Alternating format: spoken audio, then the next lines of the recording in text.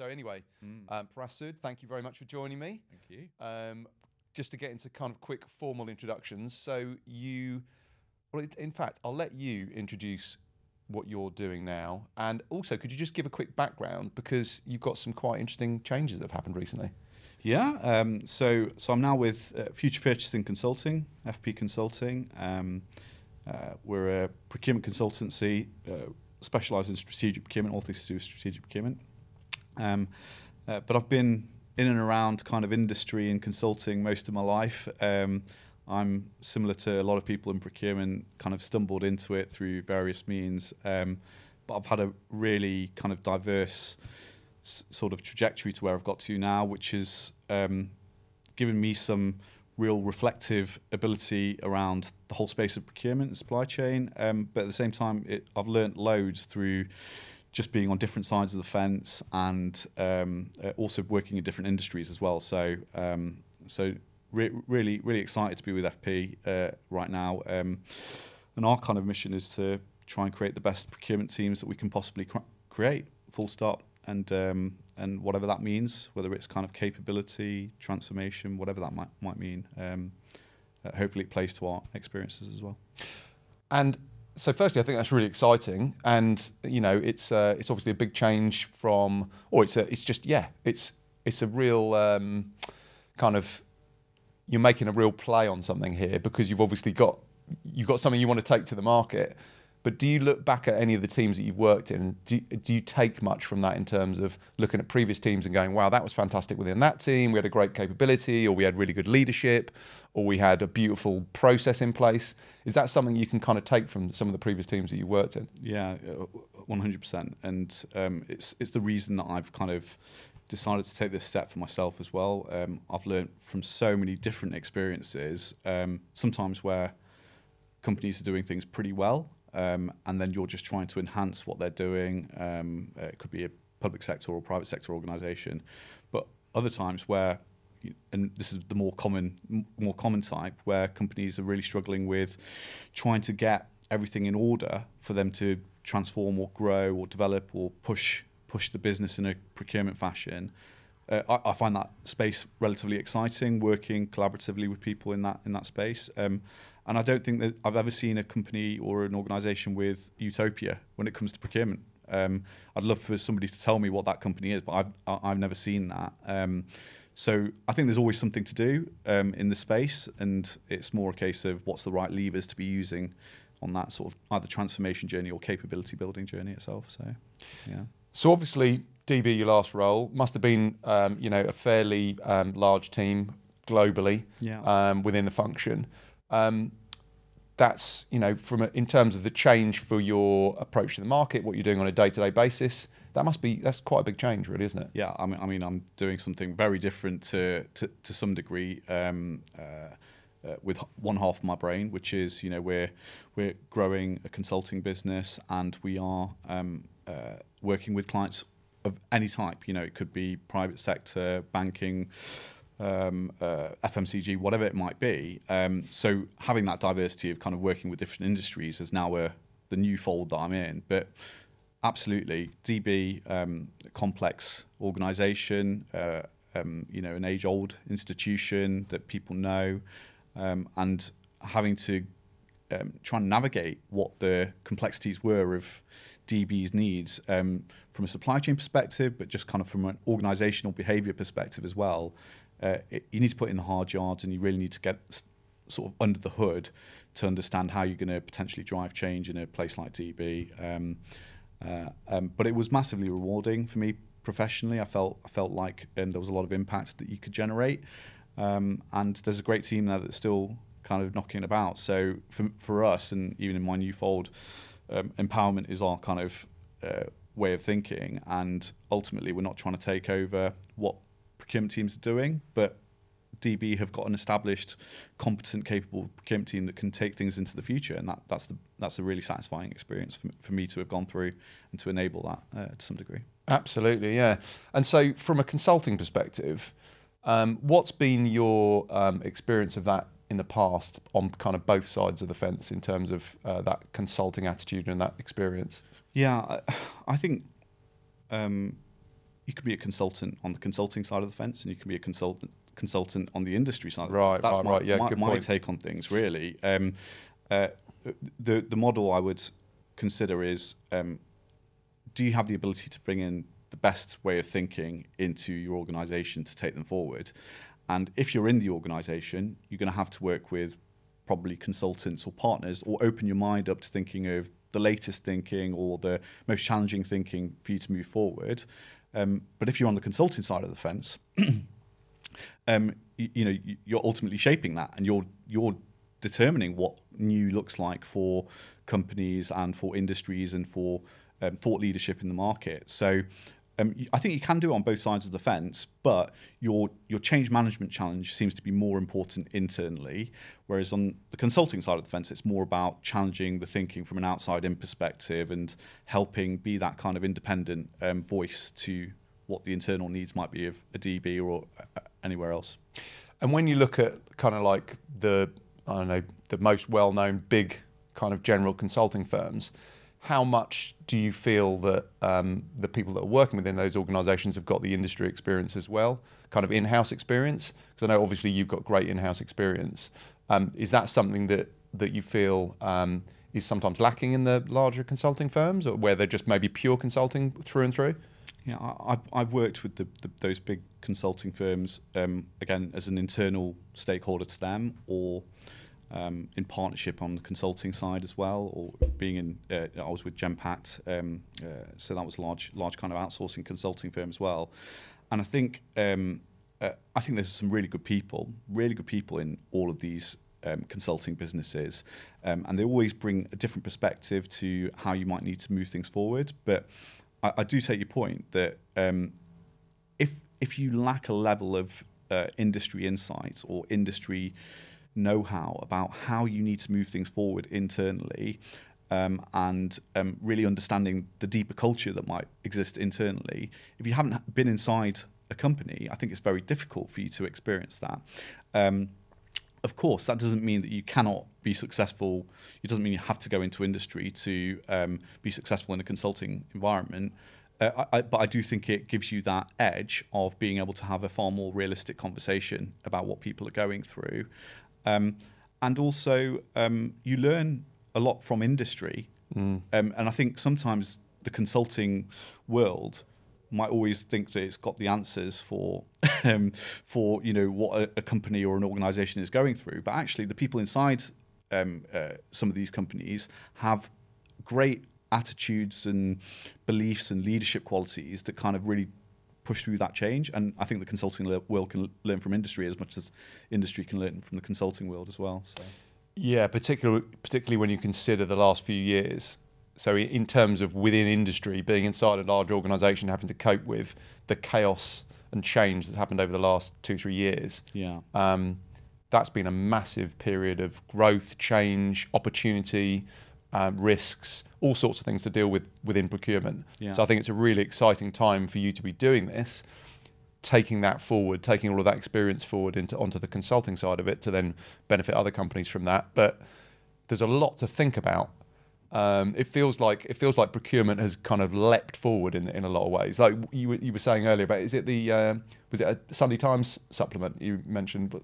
Yeah, yeah. I, I- mean, and Johnny, you must know this as well from being on the kind of entrepreneurial side of the fence as well. Um, absolutely, I think um, there's the volatility of procurement. I think that has to respond to changing supply chain needs or changing market needs, and then there's the volatility of entrepreneurship and yeah, and kind of shaping stuff. So yeah, absolutely, double whammy. Um, and um, and yeah, you know, I'm I'm really encouraged by um, uh, publications like the Sunday Times that have tried to bring the the um, the relevance and the impact of procurement and supply chain on the business world to the forefront of um, maybe um, the public, and that's that's only a positive thing for us in this space. Um, but it, it in in particular, your point on volatility is is crucial. You know, there's this term VUCA um, that's being uh, banded around at the moment. I, I think procurement and supply chain are right in the in the crux of how to help manage volatile, you know, ambiguous environments in that VUCA space. And so the VUCA era. the VUCA era, indeed. yeah. So, uh,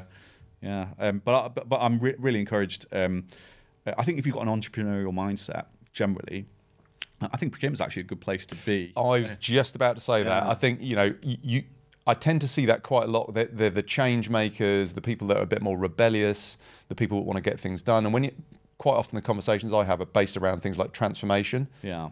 You've got to have a bit of an entrepreneurial mindset to actually get anywhere with that sort of thing, haven't you? Yeah, definitely. Um, uh, you know, back to maybe my my early stages of my career, I probably didn't come through the, the realm of people who study procurement and learn procurement and learn their sourcing processes and all that kind of stuff. I came through learning things on the job and trying and testing loads of different things, either in procurement or outside of procurement, and um, and it just happened to be that my um, my kind of creative set of genes that were there were the things that really um, gave me the biggest kick out of working with procurement because there's so much diversity in um, uh, who you're dealing with and who you're working with. Um, uh, but I think uh, so. People who are probably uncomfortable with that entrepreneurship journey sometimes struggle in the procurement profession for what it is now because there is so much movement and so much um, kind of up, so many ups and downs of how people need to operate. So if you if you're more process driven or if you're more kind of you know you're following a methodology um, and you're more execution focused, I think that kind of procurement professional is is, is struggling to kind of keep up with today's demands um, compared to somebody who's coming in with a level of um, entrepreneurial sort of mindset, shaping, influencing, um, highly emotionally kind of conscious of who they're working with. Um, that, that, they're the kind of new traits for me um, uh, that procurement's moving towards. So, because I, cause I was just going to ask you a question actually. So, so when you when you're saying that, um, you know, there's almost like more opportunity within procurement, do you think to, to kind of expand that reach and build that up and influence the organisation in different ways? Do you think? Because I, I think almost partly is that is that due to the fact that compared to some functions, procurement is actually a bit newer, and maybe it's a little bit earlier on the maturity curve. So in terms of what procurement is, there's almost like a redefinition of what procurement can be because of all these changes and all these opportunities. But also, I feel like it's a maturity kind of evolution thing to a certain extent. Would you agree with that? Yes, I would. Um, I think uh, procurement. It's it's true. Procurement is a newer function compared to other areas, and if it's come from a, an, an older purchasing kind of function or stock keeping kind of way of thinking to the more advanced elements of procurement that we're all um, now exposed to, absolutely, it's lower on the maturity curve, lower on the history of of what it's done in terms of moving businesses forward um, or organisations forward. Um, but but I do think it sits on this kind of um, gold mine of opportunity, and Yeah. and and uh, don't mean to say that in a financial sense, but the opportunities are so vast in the procurement space. If you look at the ability to shape um, uh, the revenue or the innovation side of the business, obviously take cost out, the sustainability agenda, which is growing further and further. Um, there's not many other functions that have that ability to kind of um, influence different parts of uh, the, the company's strategic objectives, Yeah. really. But you, made a really good point about it's not going to come to procurement on its lap to help bring the bring, bring businesses and uh, organisations forward. It's up to procurement to um, demonstrate where that opportunity is really sitting and have relevant conversations around what opportunity means um, as a result, rather than thinking so reactively in a demand uh, fashion. Yeah, because it's interesting when you were saying about the there's there's this kind of opportunity for people to be more entrepreneurial within procurement and for and for a more entrepreneurial mindset type of people to come into procurement. Um, when you look at the kind of future talent roadmap for procurement, um, you know something that a lot of people talk about is the the need for people with greater data analytics skills and and that that kind of side of it, where through digital transformation organizations are getting access to much, much more data. Um, and obviously, no point just having all the data. You've got to be able to use it and gain the insights from it. So it feels like there's almost, there's always going to be the core procurement requirements of being excellent at managing multiple relationships, communicating with different stakeholders, negotiation, all those kind of people skills that procurement need. Um, then you've got the entrepreneurial side of it and the strategic side of it. And then you've also got this analytical side of it it feels like it's an interesting opportunity for the type of people that come into procurement to um, to kind of evolve as well. Yeah, yeah. Uh, analytical mindset is probably also a, an important um, part of the, the skills portfolio that a procurement person will need and does need. And actually, I think a lot of procurement professionals have been analytical in their in their past, but the um, the multiple uses of data sets to drive insight or to help with decision making that's that's increased a lot more from just looking at spend analytics for example in the past or uh, maybe looking at the odd market report. Um, i think stakeholders tend to demand more intelligence nowadays to say how are you helping right. me on my journey? So um, back to whether it's demand based you know this is what we spend at last well, this is what we spent last year and this is what we think we're going to spend next next year I think if there's ways to shape data around opportunity and say this is where we could be going from a growth perspective because these companies are doing something else, um, I think that's quite an exciting um, space. Um, but but I would also say it's the the old adage of kind of not getting into data paralysis or analysis paralysis with yep. data and not trying to make make it um, become the be all and end all of where you're trying to get to. Using it, just using it iteratively to help with your decision making is, is important, I would say. Yeah, and I think, you know, um, you, you mentioned the kind of diversity of opportunity within the procurement function. I think there's also a real diversity of kind of mindsets and skills that are required and combined within w- what the broader function um, offers. Um, I had an interesting conversation with uh, Ronnie Mora from um, BAT recently, right. and he's previously an engineer. So he's coming into it with a very structured, very analytical point of view. Yeah. And and that's where, you know, this whole thing of people how people come into procurement, there are there are a real diverse range of opportunities for people with different skills that will be, that will suit different categories and will also uh, suit different areas within that role. But it all kind of comes together because it is quite a broad function. You're not necessarily going to have, you know, just one type of person that can come in and do it all because it's it's quite broad. Yeah, that's a really good good point. Um, I, I, think that's one of the things that excited me personally about um, staying in in the space. Um, I, I, was from the heavy mining kind of manufacturing environment in my early stages of, of my career, and um, I was surrounded by engineers, quantity surveyors. Um, uh, uh, financial people, salespeople who had all migrated somehow into the procurement oh, profession, right. okay. almost by you know just because they'd been exposed to it or they enjoyed things like negotiation, whatever. Um, and um, and I'm a social scientist by background, so you know just looking at the spread of the kinds of individuals, like you say, is is um, it's, it's quite exciting to be around different people, and you le- then learn from different people and their approaches to how they look at procurement. Um, and um, and I think that is the beauty of of this space is that um, maybe other uh, other areas of business there's a more traditional path to you know if you want to be an accountant you've got to go through your accounting qualification. Um, uh, so uh, if you want to be a, a, lawyer I don't know in I was in the banking world we had lots of lawyers um, in the banking world. You had to have your vocational kind of um, badges to to get there. Whereas I think because of that almost um, uh, multi ways of getting into the procurement profession. It's actually created more of that entrepreneurial spirit amongst people because there's lots of different things you can learn from. Yeah, and that uh, that must be quite exciting for you going in from a consulting perspective, in the sense of going in, understanding how teams are currently functioning, what are the spread of skills and experience within that team. You're going to have, hopefully, in in team conversations, different viewpoints, which I always think is a really important thing. Yeah, yeah. Um, you said diversity of, of mindsets and diversity of thinking. Um, I think some of that comes from education and just the way that you've kind of dealt with education yourself early doors and how then you apply that to um, the, the, business world. Um, uh, but but it is also um, personality difference as well. You know, if you've got people who are um, more analytical in nature, um, more process driven in nature, they can help with the discipline of procurement and really kind of keep the ri- rigor of procurement be be the engine behind you know um, let's say cost just for, for now and that cost discipline that might come through. And then you've got other people who might have been in you know more shaping capacities who are then helping with more strategic thinking and maybe the partnering of the business or the ability to look at a supplier differently and say actually this supplier is giving us far more than we can do ourselves. You know all of those things i think um, uh, contribute to that kind of skills diversity. And it's, it's only a positive thing back to opportunity it's only a positive thing for procurement people to be a part of Yeah, and it, I think it lends itself to the potential for that kind of cross fertilization of ideas as well.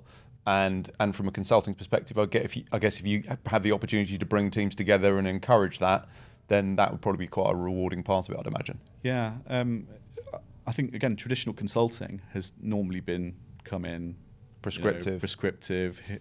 here's a bit of a diagnostic. Here's a recommendation, and we'll do something for you. I think the consulting world's changed um, uh, a lot. If you want to be in a consulting environment, you generally need to be far more outside in thinking about your own consulting practices. Right. So rather than you rocking up and being, you know, Mr. Smart Consultant or Mrs. Smart Consultant, um, you really have to start thinking, well, look, there's a number of consulting companies out there, or there's a number of providers out there that help generate the best of breed thinking or the best way of way of operating. And ultimately, as a consultant, your purpose is to deliver client impact. It's it's for making sure your clients are going through whatever journey they're going through to get to where they'd like to get to, and if that is um, utilizing a multitude of companies or um, partnerships in a way of trying to bring that answer to the to the forefront, that, that that's that's the how. That's the how that we've got to solve, um, rather than feeling like we've got some kind of established way of thinking just from ourselves as a consultant based on anything that we've done in the past. It, has got to be more more innovative in terms of how we bring um, solutions to the market as well. I like it. Um, it's, it's it's the type of area that really gets it, uh, uh, it gets me thinking. Um, I find it quite inspirational when you're looking at these challenges. Partly because I'm from a kind of I've got an entrepreneurial type mindset, yeah. so I look at that and I go, oh, I like that. That's yeah, that's yeah, interesting. You can really get your teeth into that. Um, so another thing I'm keen for us to uh, get our teeth into a little bit is kind of following on from a conversation um, that we had at the eWorld mm-hmm. conference recently, mm-hmm. um, where I was talking about the kind of data gap in services procurement and, and where it is, um, you know, possibly um, left behind in some ways compared to other areas when it comes to digital transformation.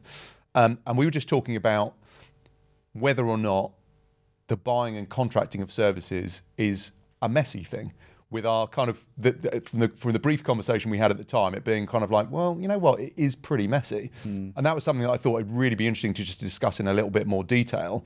So, obviously, you've worked in kind of like heavy manufacturing industries, but you've also worked in extremely services-led industries like banking. Mm. Um, what's your opinion on that in terms of whether it is a messy thing, and and if so, what that looks like? Yeah. Uh, uh as a blanket statement, I'll generally say yes, services can be messy. I think I think as a starting point. Yeah. Um, uh, and it's um, of course there are better practices and worse practices, but but yeah. generally it's a, it's a messy space. Um, but I will also say that spend is generally messy, right? in big organisations, um, you know. So um, if you're looking at goods and services, um, you normally, if you're in a complex business or complex organization, you, are dealing with multiple business units, multiple jurisdictions, all buying in different ways. And so therein lies the challenge in, it, in its own right that you're you're trying to aggregate and centralize a lot of that way of thinking as, as in, in, in many many cases. Um, so therefore, starting point is is pretty pretty messy. It's complicated. It's, it's complicated. yeah, yeah. And then if you if you kind of drill down into that more, I think what what do, what do services really mean for a, for a business? So you, you mentioned the manufacturing side of things.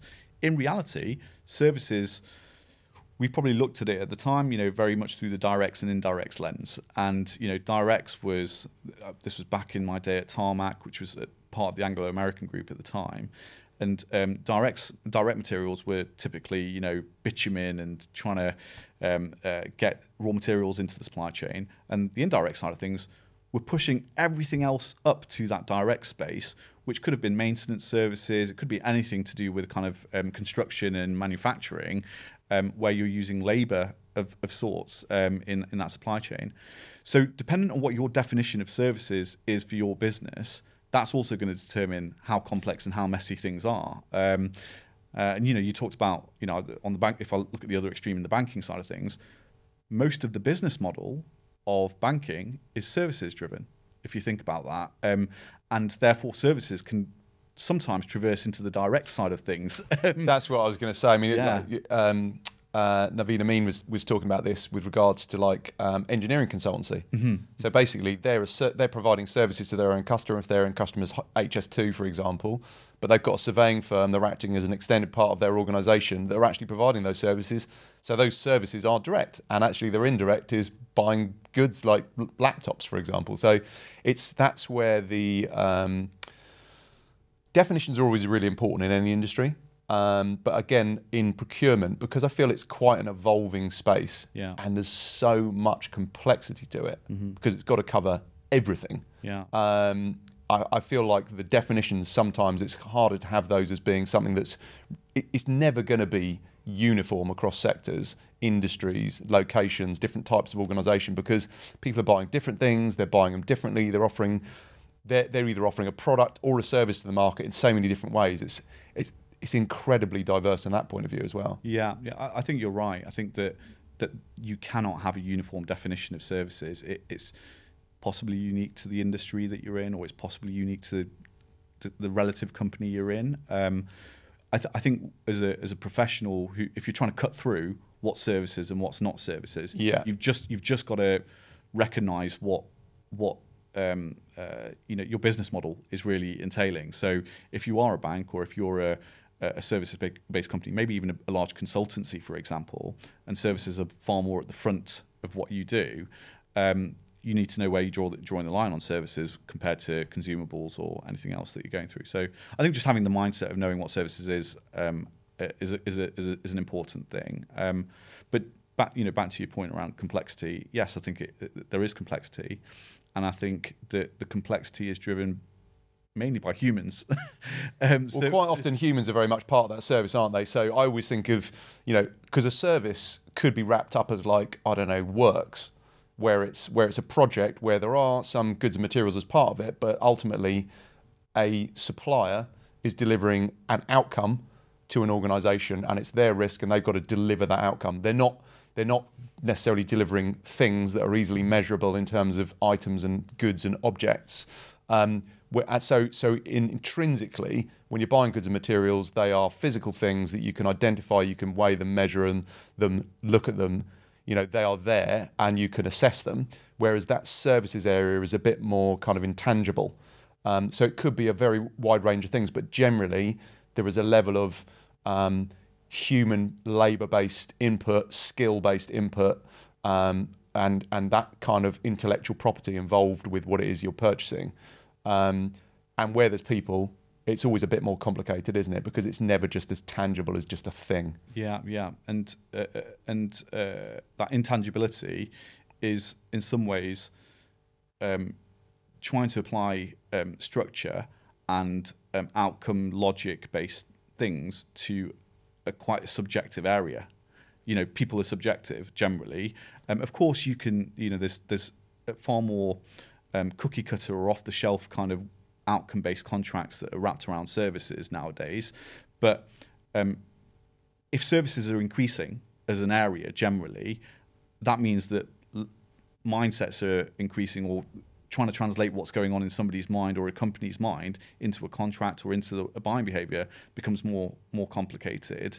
And it's harder to measure as a result. So therefore trying to get the right thinking within a kind of process driven capacity i think it's harder when you've not got nuts and bolts or um, widgets and whatever else that you're trying to purchase Yeah, it was interesting. I was reading an article recently talking about um, the the difference in value in what you're buying based on whether you're buying it on a uh, in services, based on whether you're buying it on a time and materials basis or an outcome Yeah. basis. Um, and up front, a lot of organisations will look at an outcome or output based arrangement and say, "Well, I'd actually I can't define that. Um, I, I I just need some people to be working." yeah Oh, they might look at an output-based arrangement and say it's going to be more expensive. yeah But there are other things to consider within that. If you if you can't define what it is you need to get done to start with, even if you can't define the definition stage, yeah then I feel like that's that has its inherent risks from a strategic point of view, in terms of well, what are you trying to do? Because it's very easy to have people working on something without necessarily a clear endpoint or outcome, and so therefore costs can run, and and therefore is it going to be more expensive? Whereas if you if you're getting a supplier to deliver something on an outcome or output basis, Yeah. they're taking risk for delivering something, for pricing it. Obviously, there's so much nuance to it. You know, even if it's an output basis, how is that priced? How is that structured? How is that changing along the way? IT projects, for example, often have iterations, sprints, whatever it might be. Um, but I think the world is feels like it's moving more towards an outcome or output based mindset in a lot of ways. Just even if you look at the consumer world, mm-hmm. but also how that's transitioning to the business world as well. Yeah, I, I would agree. Um, and I think the inherent challenge of services are that um, getting to outcome based ways of thinking requires you to have um, a, bit more um, forward thinking capacity. Like you say, not a never ending kind of labour arbitrage or a never ending kind of body shopping of bringing people in and it's just captured in a statement of work. It's, it's more about how would you see that service evolving over the course of time. Um, and I think some, some of that challenge, therefore, lies in um, again with big organizations we're probably talking about big organizations here mostly but in big organizations um, the um, the contractual landscape for those big organizations um, can sometimes be a, a, kind of shooting in the foot of that situation because they might have a large base large scale contract but the statement of work behavior or the buying of statements through statements of work is not really tallied up with that overall master services contract and therefore the outcomes are, are mismatched as a result. And as a procurement person uh, or as somebody in the business you're trying to ma- marry the outcomes with the stakeholder needs um, but if you can't tally up what's going on in terms of the way you buy off your framework agreements or the way that you buy off the strategic things that you've been doing, you've been developing in the first place, then there's always going to be this mismatch, and that's that's probably frustrating for stakeholders as well. That's a really interesting point. I like it because we're getting into some like fairly uh, technical uh, stuff here. So, so when you say there's potentially a misalignment between the MSA and the and the statement of work, one of the things that we see a lot is that where organizations have these large MSAs in place with big providers, for example, big IT providers that are doing lots of projects for them, yeah. doing the strategic sourcing, they've got a really good handle on that. You know, they're using their source to pay suite to um, do the kind of supplier sourcing, the contract lifecycle management, the risk management, and put those master services agreement or framework agreements in place. But it's the complexity and the volume of the drawdowns, the call offs, where it is pulled into a statement of work, that's where a lot for a lot of people there's a dis- disconnect. Yeah. Um, and that's something that we in what we do we saw that quite a lot being something that was being worked on in the public sector yeah. back a few years ago, where that was really being, you know, the the public sector frameworks that dealt with like consulting and professional services were really trying to get on top of this. Yeah. Um, but that's a really interesting one. So, do you, when you say the the kind of misalignment, do you mean in terms of what the objectives around an overarching framework agreement are versus what a statement of work is actually trying to achieve, or do you mean kind of aggregating up the measurement of what's being done to, to look at the, the MSA? Because the MSA is obviously setting in, in uh, aside the terms, yeah. and you'd assume that most statements of work would refer back to those terms effectively, so they're working in the manner which, in which they should be. Mm-hmm. So, are you talking more about what objectives are being achieved? Yeah.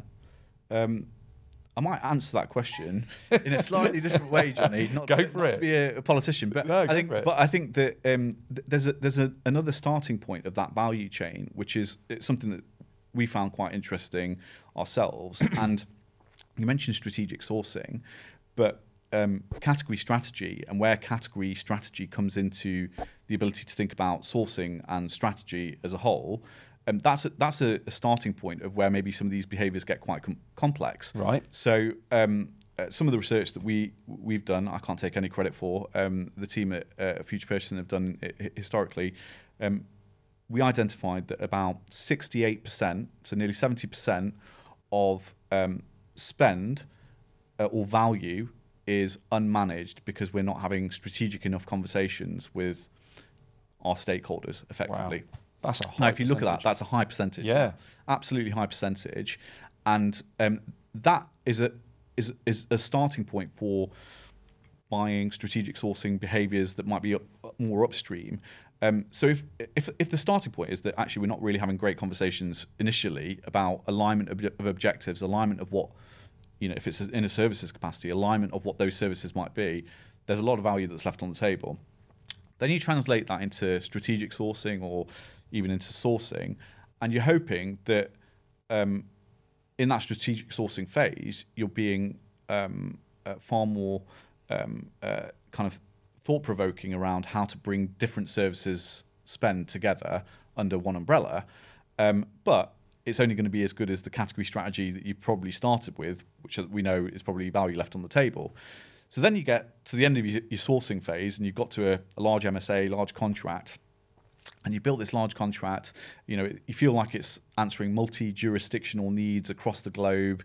Um, you've covered all your bases in terms of the kinds of services that you want to deliver. You've got some measurability around it. Major negotiation, public sign off, everybody's happy in the business and procurement have signed off a big deal. And then buying behavior starts. Right. And I think when the buying behavior starts, it's in some ways completely different to the strategic upfront contracting phase that you've gone through to try and architect the best deal for that business or for that organization. And then you're into the buying behavior of people just needing to get what they need to get right. and wanting to, um, it could be contr- contract on major complex um, statements of work, which can be huge, you know, major outsourcing deals or major projects, whatever it might be.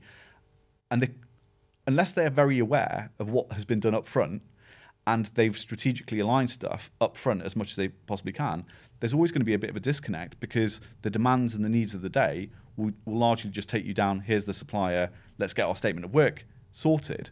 And I think that um, it's it's incumbent on the kind of post-contract procurement professionals and post-contract business professionals to make sure that that MSA is coming together with that statement of work, um, because some statements of work can be more complex than MSAs. Um, so there's got to be a level of dialogue that really kind of keeps talking about that, that connection between um, contracts, and um, and then that will help with the statement of work becoming far more um, uh, applicable, but also efficient with um, the way that you want to work, because you're not having to reinvent the wheel in the statement of work world. Um, but you're seeing it as a natural extension of maybe the hard work that you've done previously. Um, there's probably another school of thought, thought around that as well, uh, in terms of why do you, why do we need state, um, large MSAs?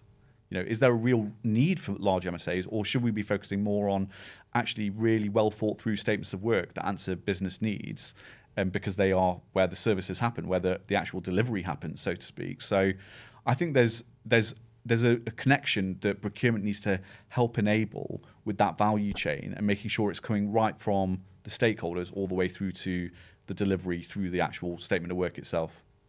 Yeah, some, you've come out with some really interesting points there. I'm just making a few notes here. So there's quite a few of them. So I'm going to try and kind of go back through sure. it. It's a good thing I make notes, because otherwise I literally would have uh, gone hopped from one to the one to the next and then forgotten all of them. Um, I made a note of a phrase here: flow down. Mm-hmm. I feel that flow down is just an absolute critical part of this. So the flow down of those terms from the MSA to what's being contracted and what's being delivered and procured within the statement of work, clearly that's absolutely critical. But the other area of flow down that I think is, is super critical in this is just the flow down of strategy. Mm-hmm. So, for example, the strategy might not be flowing down effectively into even the MSA um, or into the originating category strategy. But then when you look at it on another level, is the category strategy flowing down into how business users are thinking about it? It's all got to connect up, really, hasn't it? Yeah, I, I think you, you've, you've hit the nail on the head there. Um, uh, th- there is a, a, a common um, behaviour that I've seen, um, certainly when I was in uh, the banking world, but also in other worlds, where um, you get really caught in the the um, service level agreements and, and KPIs or key performance indicators of what's going on in the contract because you think you've got to make sure that if somebody's transacting off that contract, it's always pinned back to some measurable thing. But but actually, what's more important is what you've described, which is what is the strategic objective of that service area, or of that category, or of that um, business division or business unit? Are you meeting the relative needs of where they're trying to get to in terms of how they want to use services or any other kind of spend behavior? Um, and that's regular dialogue, regular kind of discussion around it that probably sometimes needs to use the contract as an instrument of mimicking what you've been talking about with strategy. So flowdown's a good a good term, uh, I would say, and but it's ex- it should be extensive as as you mentioned. It should be that you are fully clear on what the business needs are from a strategic point of view, and you're also clear on the practical elements of how that can work in terms of just getting on with purchasing and sourcing buying services accordingly. Um, but I, I see a lot of um, uh, mismanagement of the strategic space uh, um, in that flow down for sure. Yeah, it's definitely something that that, that kind of comes across in, in conversations that we have where we hear about these types of problems. I think when you mentioned about like post contract dialogue, I mean, in my experience, when it comes to services, post contract is where the big gap is. So organisations are pretty good at putting a contract in place, but firstly, and I'm always harping on about this, but in terms of capturing those contracts or those statements of work digitally, most organizations are incredibly bad at doing that. Yeah. Typically, you'll end up with a scanned in PDF that's stuck in a, in a file repository somewhere, and that's it. Yeah. And that might have some outputs or milestones against it. They may change during the project, they may be measured against, they may not be, but it's, it's not a neat process. I always have this kind of neat and tidy mentality of thinking of things tying up along along the way. Yeah. But but talking about that post contract dialogue is such an important thing for that connection between procurement and the buying stakeholder to ensure that there are strategic objectives involved in it. It also ties into the pre contract phase where the actual requirement is being defined, because that's one of the things about creating an outcome based agreement. One of the most difficult things is actually designing what the outcome needs to be before you've actually got into it. And as I say, that that sometimes needs to change along the way, but that's services contracts are designed to flex and change along the way. Um, and I think clearly, if a buyer is is buying something, a technical service, the buyer might have a good level of expertise in it. They might not. The supplier definitely will have, or certainly should have. Um, procurement probably won't. So they will they will understand they will have a broad understanding of it. But what procurement can provide is the kind of guidance around structure, content, and the strategic direction of it. So I think it kind of plays into how different organisations work from a cultural perspective in terms of how hands-on procurement are, how much they get involved. But there's a lot of value that can be added, and that the business does need to be added in terms of ensuring that there's a strategic focus to a project that's being carried out. Yeah. Clearly, it's going to be more, more or less important depending on how much that project's worth. But um, a lot of this stuff goes on where it's just, as you say, the business user is just reacting to the, I just need this now. Um, and I think some of that can get left behind. Yeah, I, I, I, th- I think you've you've captured that pretty well, actually, Johnny. And and what it's made me think about is um, what seems to get caught up in that in that kind of connection problem between procurement and the business, or pre-contract and post-contract, is is roles and responsibilities. Right. And um, ask I'd ask a challenging question to most organisations: Who owns spend? Who owns your services spend? Is it procurement? Is it the business? Who owns the contract contracting process? Is it procurement? Is it the business?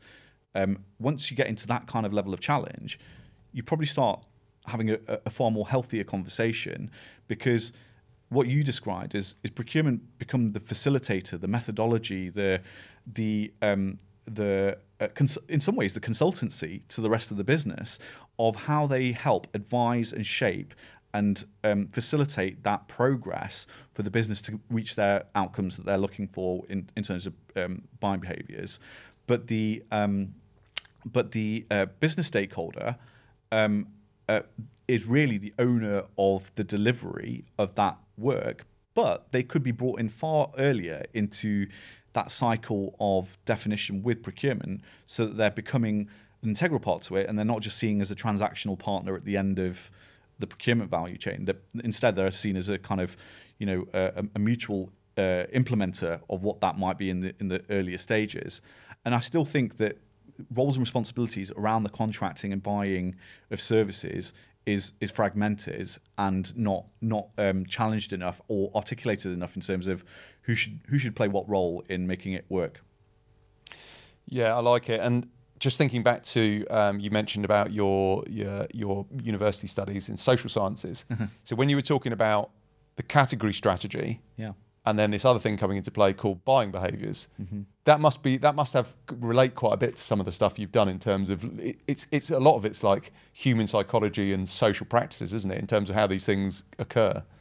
Yeah, it's fair, fair comment, really. I, I think you know I, I don't approach um, uh, the way I look at procurement from an engineering mindset or from uh, a hugely technical mindset, actually, um, uh, it, for me, it's more about a network of connections, and um, and I think that is within procurement. It's outside of procurement. It's with suppliers. Um, the, the, whole gamut that you can imagine um, around that, and um, and for me, a, a, lot of that is about alignment of objectives between one stakeholder and another stakeholder, and trying to get on a similar page of sorts, which is a far more socially driven um, a behaviorally driven conversation as opposed to a technical conversation. Um, so I, d- I do think it, it, it, probably emanates somewhere from my from my uh, earlier life, but um, but for sure it, it, translates into for me into um, exactly what procurement is exposed to on a day to day basis um, in that space. Yeah. Ultimately, it all comes back to what's the business trying to achieve, and how is that reflected in these individual departments and individual buying stakeholders in terms of what they're trying to achieve that plays into their particular contribution to that overall objective. It's just the strategy and the communication of that strategy is so, so important. And like you say, it's not a, um, a mechanical process. In some ways, it's a very social process in terms of the communication of that. I mean, you know, we talked about entrepreneurial mindset. You know, startups, scale up businesses they have to communicate their strategy effectively. They can't have any inefficiency. You have to have everybody, you know, rowing in the same direction, but buying into where you're trying to get to, buying into the objective, the destination, um, and that's where you can get people with different backgrounds, different thought processes, different input, adding value to that process of trying to get to to the to the destination. Because it's just you've got to consider all the different factors. So that, that that's something that for me is a beautiful thing as a someone with an entrepreneurial approach is critical. Mm. And obviously, the bigger and the more successful companies get, it can kind of get watered down and lost. And like you say, these organi- these big organizations are incredibly complex yeah. in many different ways. But um, the the the factor of this kind of concept of of the roles and responsibilities and where where do things sit, I think it's a much more open conversation than it was. And I think procurement are in a better position to kind of, to a certain extent, kind of push that conversation in some cases. Um, but when you look at the process of, of, of what it is, trying to define what it is you're trying to buy and then trying to, you know, contract with the best partner and then trying to deliver that effectively, that bit at the beginning is so critical. Yeah. And, and there's a real collaboration opportunity there because I think in a lot of cases, buyers, it's like you try and get people to write a job spec it, it's people hate it. it's hard enough. It's hard enough. Yeah. Trying to write a scope of work is even harder. Yeah. You're getting really into what, what is it I've actually got to do? How do I actually define that? But it's a it's a critical thought process. If if a, if a department is trying to do something properly for the company, if they haven't thought about that effectively, then that is a concern. Now, it might be that they look at it and just go, well, this is not my area of expertise, which is why I want to bring in expertise. But there's an opportunity for collaboration as well, where they could be collaborating with a single supplier or multiple suppliers to try and define a requirement. And we see organizations, um, you know, from a technology point of view, they're not necessarily just running um, uh, opportunities, tenders they might be running expressions of interest mm-hmm. where they're just like horizon planning on what what capabilities they've got within their supply chain or actually looking ahead and going these are the types of problems we've got coming up mm-hmm. what type of solutions do people see coming towards them so i think there's a huge opportunity for collaboration and defining what outcomes or what what the direction needs to be even when it's with suppliers, I think procurement have got quite a big role to play yeah. in helping coordinate that and, and kind of guide the process. Yeah, yeah. Um, uh, uh, back to this kind of it's a network of connections, really. Um, I, I, I, whether it's the contracting process, whether it's the, the alignment process, it's for me. It, it, procurement is at the centre of multiple stakeholder discussions. Yeah. And and if procurement's not really in listening mode too much, it maybe loses out on the nuggets of what the business needs versus what the supplier can offer versus where procurement can play its role. Um, so, so I think that there's um, there's a, a, real opportunity for procurement to become uh, less at the forefront, but more in the kind of advisory capacity of a business's um, ability to move forward without internalizing thinking too much within the organization, but externalizing it a bit more to help push things forward. Yeah, I mean, procurement have got so much information because they sit at this juncture with all these different departments and all the kind of internal data, but also the external information Exactly. that a lot of other departments just don't have. Yeah. I always think it fascinating, particularly when you look at it from a consulting perspective. If you're a consultancy category manager or you're you're managing those type of arrangements, you're you've got this kind of like multi-directional view on what's happening. You've got the internal stakeholder view of this is what we need to get done. The supplier's doing a good job, or actually the supplier's doing a bad job because of X, Y, and Z. And then you've got the supplier's viewpoint on what needs to be done, how it should be done, and actually their view on internally how the stakeholders are supporting it. Yeah. Because from a consulting perspective, your job could be made very difficult if the internal stakeholders aren't supporting the process. You know, they're, they're letting you down. They're not providing the right information. They're not doing their part. It's um, you're really at the kind of fulcrum of a lot of information. Yeah, fulcrum's a, a good a good sort of def- definition of that. Um, and and you know, category strategy uh, or strategic thinking. Um, that's probably you know 20 years old, maybe longer, 30 years old of of um, trying to have a strategic alignment with the business and make sure you're having that upfront conversation um, where you're bringing those kind of multi um, multi stakeholder needs together. Um, but then we've kind of moved more towards business partnering, and business partnering, whether that's through category strategy or it's independent, business partnering is exactly what you've described. It's that ability to hold hold together a set of needs from multiple angles and then try and work in unison around that business partnering set of objectives or bu- business objectives through a mindset of partnering more with the business and bringing all of those rich data sets and informations and people and um, institutions together um, so that you're getting the best out of that kind of integrated business needs conversation as opposed to you know here's some demand and this is where you need to get to or here's where we can aggregate this is where you need to get to it's, it's, a, it's a far more enriched conversation through that business partnering kind of um, uh, uh, dialogue that you get. And do you think that's appreciated to the level that it should be within most organisations out in terms of other parts of the organisation, whether it's the C-suite or just other functions, appreciating that that role and that opportunity with procurement? Yeah, I think I think I, I've maybe used this term in some other lives before, but I think procurement's going through a bit of an identity crisis. Right. And so, to your point, I don't think it's appreciated, but also procurement sometimes feels like we're the forgotten stepchild of business, um, and at the same time, um, procurement uh, uh, knows it's the one that probably can help facilitate those conversations. So sometimes it overcompensates Right. um, for its ability to say, do you know what, we need to be at board level conversations or we need to be the most strategic thinkers that are pushing stuff. I think um, trying to drop a level of ego in that conversation of a procurement professional of, or the CPO in their, their organization is important and just becoming a bit more of that facilitator role, a bit more of the, the conduit to bring those, those areas together.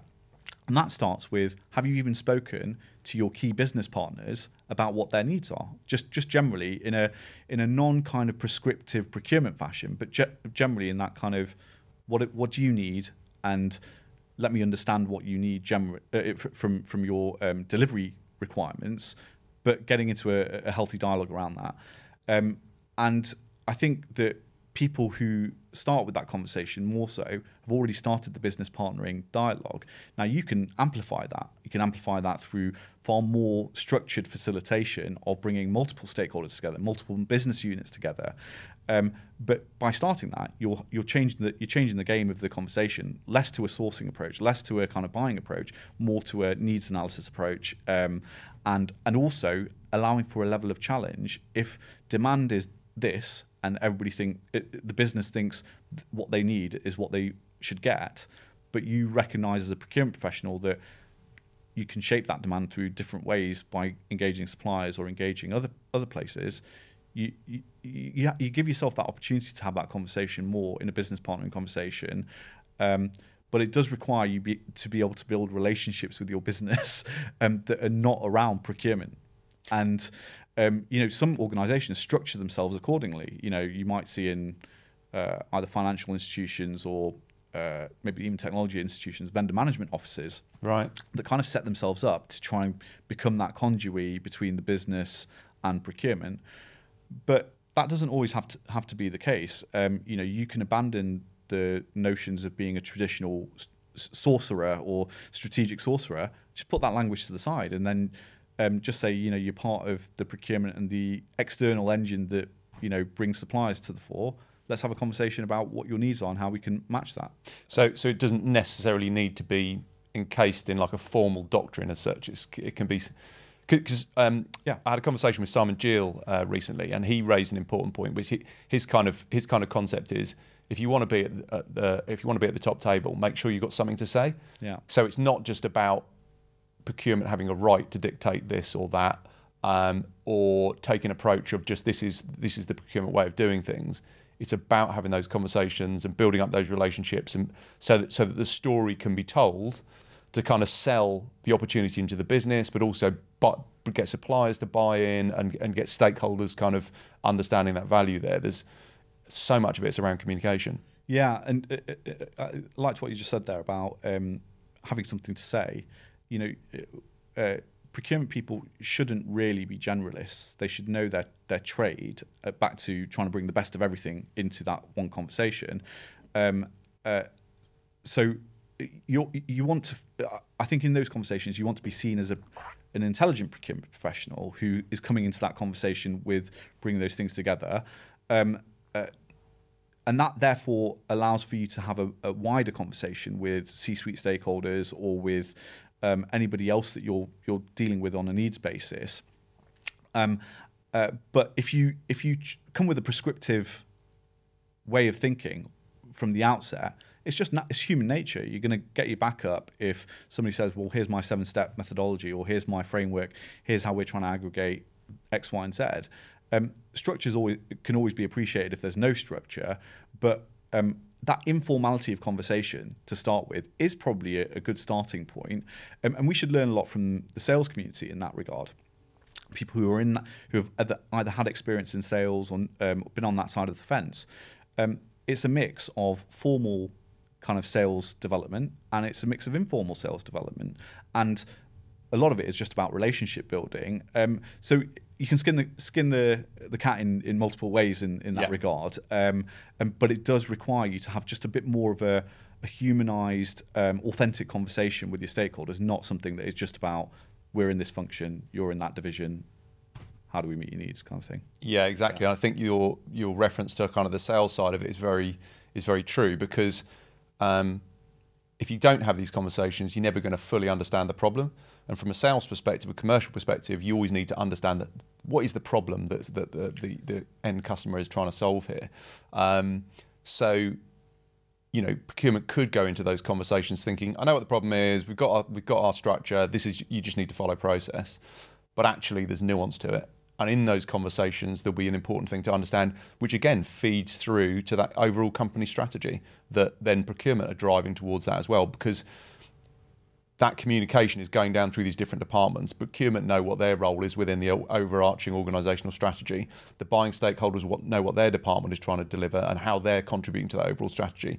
But but procurement might not have a particularly good understanding of what that department how they're trying to deliver on that strategy and what their objectives are yeah. if they're not having those conversations. Yeah, I agree. Um, I, I, draw quite a few parallels between procurement and HR. Um, uh, and uh, you mentioned extended workforce yep. um, uh, earlier, and I think um, uh, not just from a buying behaviours or statements of work, you know, you, where you're buying people um, through HR and you're having to buy people through um, through procurement, but the the extended workforce concept for me straddles both.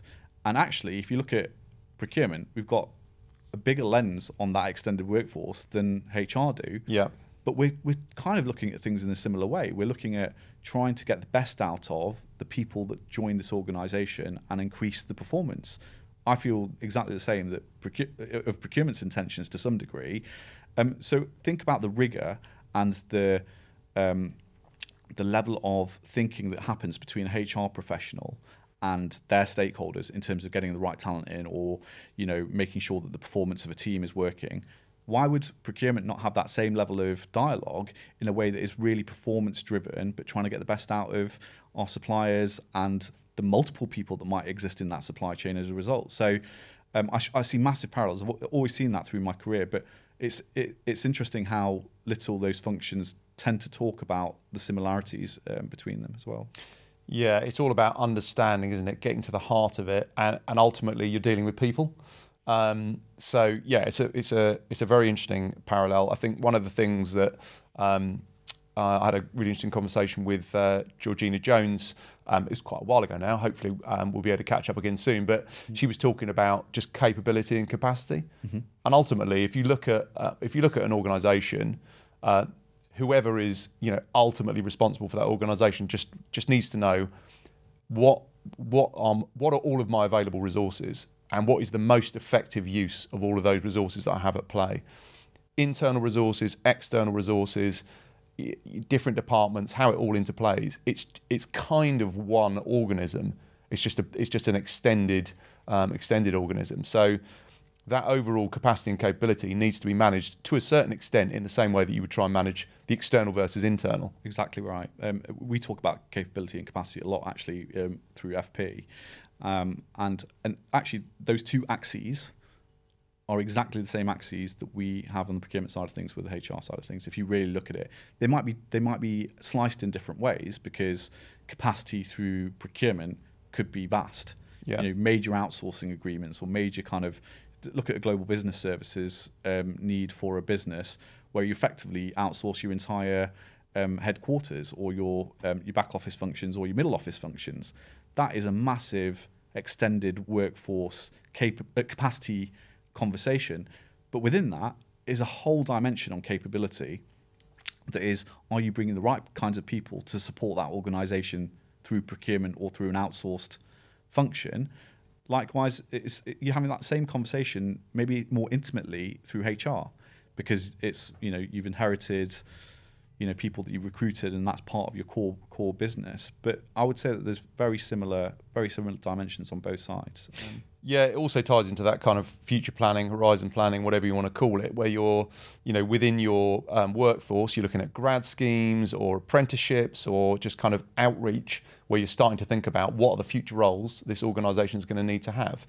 Um, exactly the same with supply chain, which I think is very interesting when you look at the lack of visibility of the supply chains that some organisations have. Yes. Um, I mean, things like sustainability scope three, for example, is increasing is another angle on why organisations need uh, visibility of their supply chains, which I think is sometimes the visibility is can tend to be naturally better in the goods and materials on the goods and materials side of it than the services side of it.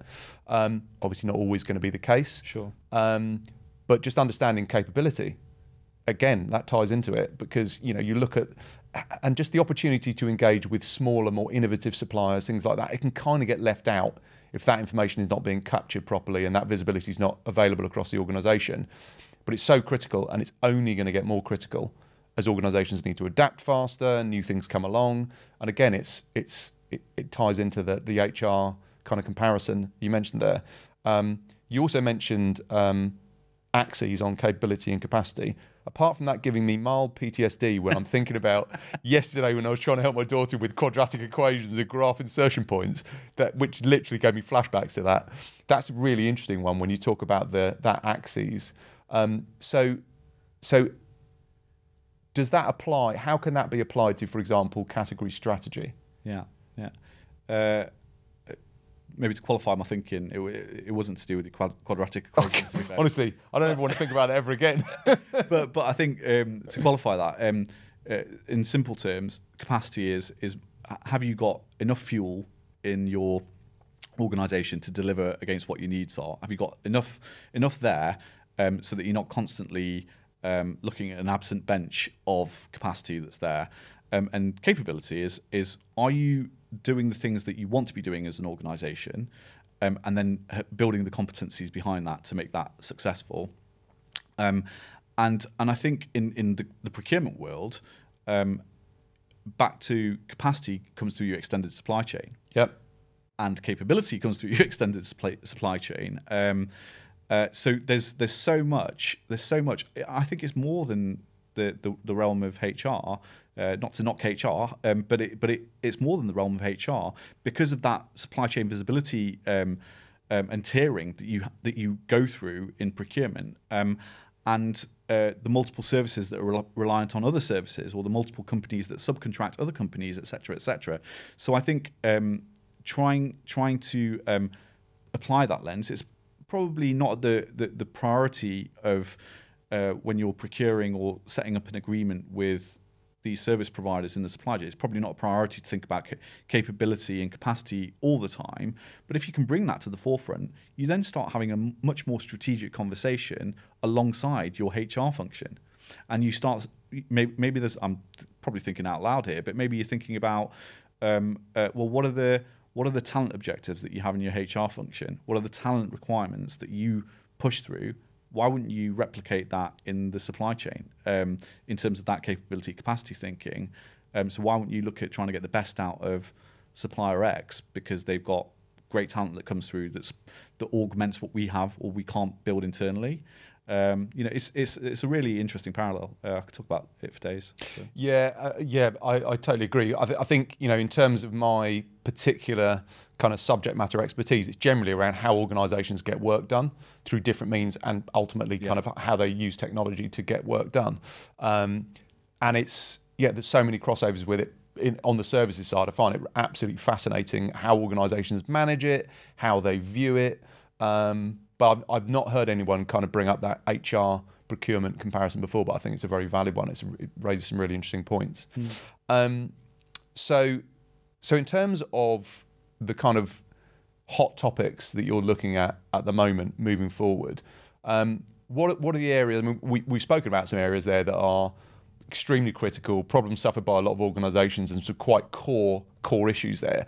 What are the sort of um, hot topics you're looking at at the moment? You mentioned um, the kind of category strategy type approach, and you also mentioned like business partnering.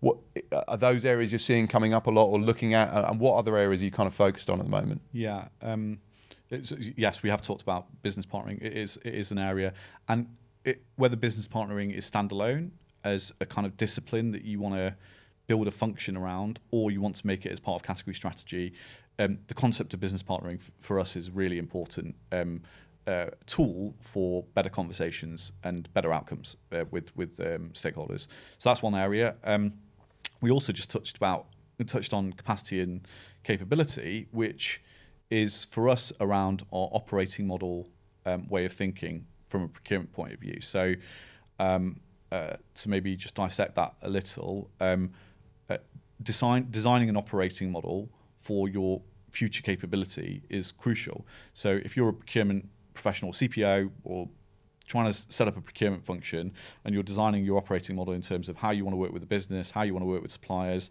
how you want to bring in the right talent in your into your organization. Um, uh, what are the things that you need to go through? What are the things that you need to question in terms of getting that model right to start with? And that's really a precursor to then recruiting and designing your organization of you know we need category managers we need um, uh, uh, contract managers we need supplier relationship managers. Um, you know before you even get into that uh, we, we're, we're looking to apply a lot more thinking into the debate of where's the organization's value and what's the operating model that needs to talk to that organizational value from a procurement point of view.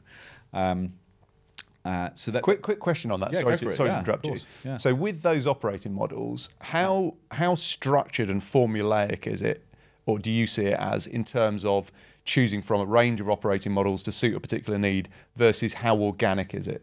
yeah Is the process? uh, uh, like anything, operating models not a, a new concept for business or f- even in shaping an organization's needs. So that having a level of, of method behind it, you know, there's certain things that you're always going to keep in a an operating model framework, like um, strategic objectives. Are you aligned with that? Processes and technology. Have you defined that? Um, interactions between different things. They're all kind of core concepts of divide, uh, devising a, um, an operating model. Um, I definitely wouldn't go into an operating model discussion prescriptively with an organization because um, there's things that uh, organizations can learn from other organizations about how they might have set up operating models that can leverage those things around strategic objectives, process, tech, uh, all that kind of stuff.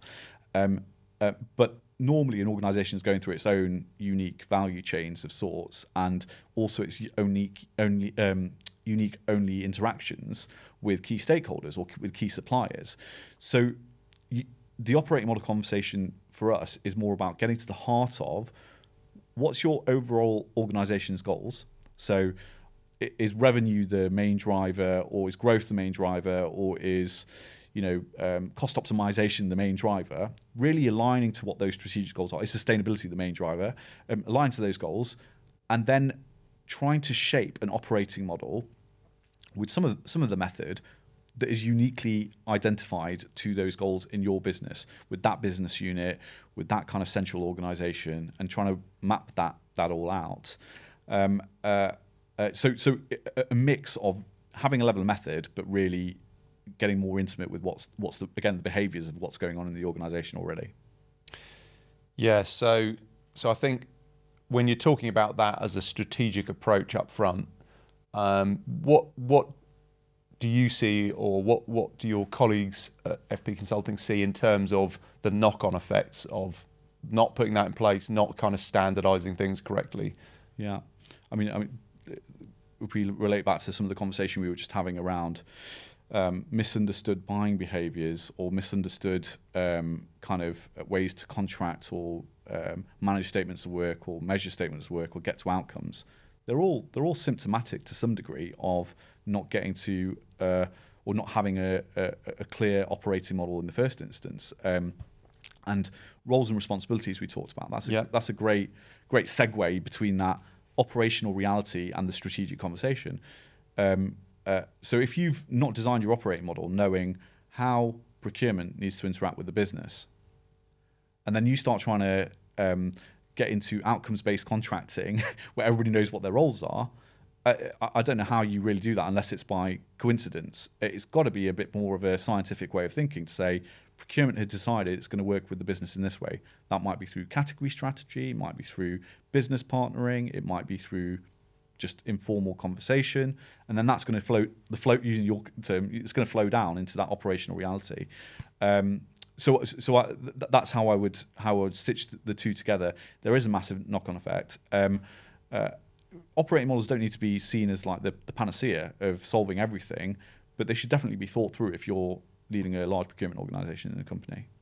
Yeah, I, I love it. I feel like you've got a natural level of curiosity that you're going to delve into stuff and you're going to want to know the reasons why certain things happen. I think that, that, that in terms of what you're going to be doing moving forward and what you're doing now, um, you're really going to be able to exercise that, aren't you? Going into organisations and trying to unpack what they're actually doing and why. I, hope so, Johnny. Yeah, uh, uh, uh, I think um, uh, some of it's through experience of, you know, trying and failing on certain stuff. You know, putting in something prescriptive and then realising that something else different is completely going on, and then the market learning, changes market, or whatever. Yeah, yeah, exactly. So some of it's by going through those those learnings of what's not worked, um, but also I, I think um, certainly in the consulting uh, side of things, there is a tendency to um, uh, uh, to be quite conceptual, which is good because it can help elevate the conversation and, and take people out of the situation but then not really want to be part of the change.